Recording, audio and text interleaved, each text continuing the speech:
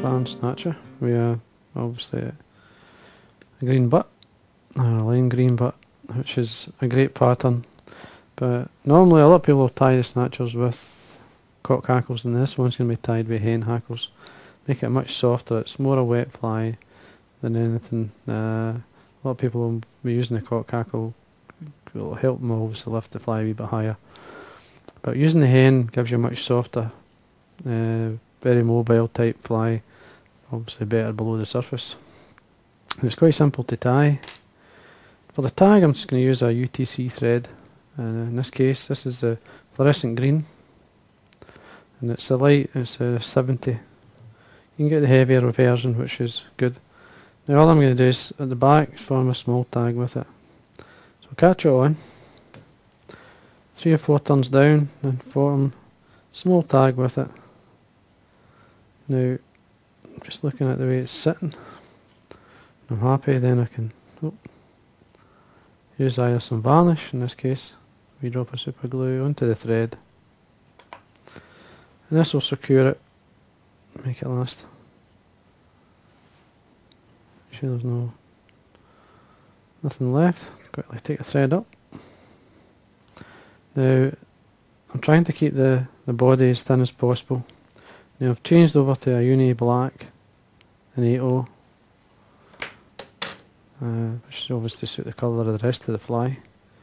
Now as I say I'm going to try and keep the fly as thin as possible. Now I'm using a fine hook. And the hook I'm using is the is a G point in the Gamakatsu and it's a buzzer light, in this case a size 12. Uh, these are size 14s, size 16s are sort of three sizes I'm tying. Now I've used a pearl ribbon on this fly as well as a silver ribbon. I'm using a silver ribbon, it's a fine silver wire. Now just using, I'm tying it in the way back down to save bulk again. All the way down to the tag this point. It's fine. Now, dubbin's a blend of rabbit dyed black and seal's fur. Obviously dyed black. This helps bind it a wee bit better and keeps it quite thin and and how using the rabbit's a wee bit softer so and then just imagine tying or dubbing the body that would suit a buzzer or a midge. Keep it thin, as thin as a hook. Stretch it out and twist as you go up. That's fine. For the hen, just using a, just a Chinese hen dyed black. Using the small feathers at the bottom. Don't want the fibres too long. Now they're not very big hackles so now we tie this in at the butt, just remove some of the fluff.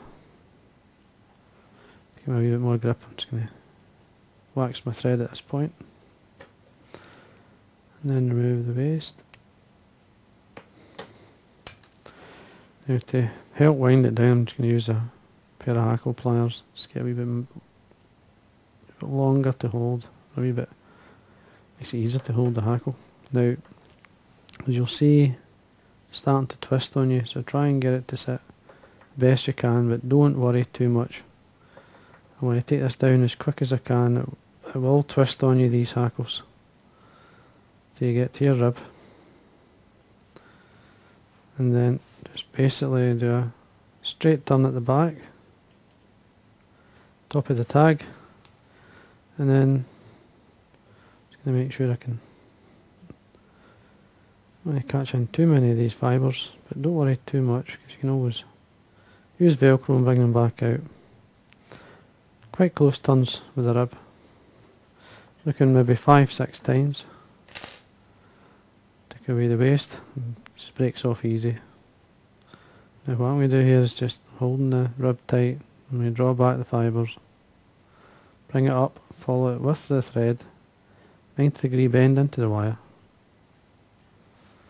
And then tidy up. There we go. Bend and break away the wire. Be quick look, see what it looks like. You can get the velcro if you want a wee bit more of the dubbing to come out but or even bring out some of the fibres as I said because if you catch them in, the velcro can pull them back out. Yeah, that should do it. Now for the front hackle I'm using a natural brown or red coloured hackle. Tighten by the tip this time. Keep the fibre length much the same as the, the body. As it turns down. Turn that away. Back to my hackle pliers, just to give me, make it easier with these small hackles now. They're, see they're quite delicate hackles, so take your time with it. And then it depends on how good the fibres are. I mean these are quite thin fibres on this hackle so I'm just going to use up as much as I can. Drawing them back, winding one turn in front of the other. Cross your thread, make sure it's caught in. Trim away the waste. Any of these fibres going forward, like the, just draw them back. And then obviously tidy up. There we go. Quite look, that's fine. You want it like that, quite soft.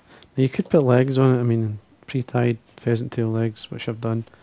Uh, you can leave it as it is and tie off, or what I'm going to do is use up some of the, get some split jungle cock yeah. eyes. Draw back the fibres that you don't need. You can pull them off if you want. Try to save bulk. Now what you want to try and do is encourage them to go down one side or split down either side in line with the hook. So I'm holding the ends here. Come round with a couple of turns. Put some tighten up in the second turn. And just look to see how they're sitting. Now if you're happy you can actually then put a few more turns in and tie off. If you're not you can still move them around. I want to go back because I'm not happy. Sometimes putting on, taking it back off will make it sit better. Right, just want it slightly more on my side, it was slightly under. It's fine on there. Looks okay there, that's fine. Wax on your thread, gives you the grip. Now you can fold this back. Now with two or three turns in, front of the, the feather, trim away the waste. Now you have folded back some of the fibres. Hopefully you've started to draw them back and build the thread turns from the, the eye up drawing these back. Should tidy up if you take your time.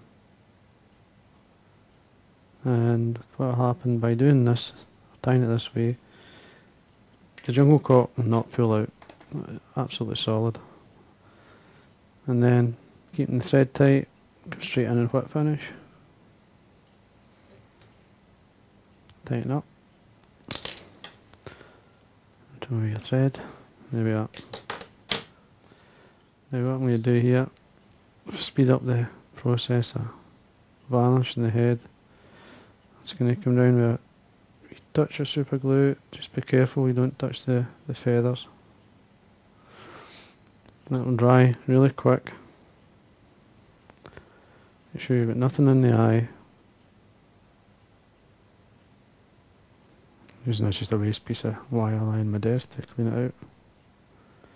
Doesn't take long to dry and then a minute or two you can put a coat of varnish on it. So I'm going to do it just now just to show you all the way around. Now super glue does go off, gets kind of takes longer to cure the older it gets and it gets tacky and you don't want that so it's a fresh pot of super glue and uh, I say dries even quicker. Okay, and once you put the varnish on, clean the eye out. There we are. Now, it doesn't look a lot, but it's a really good fly to have in your box.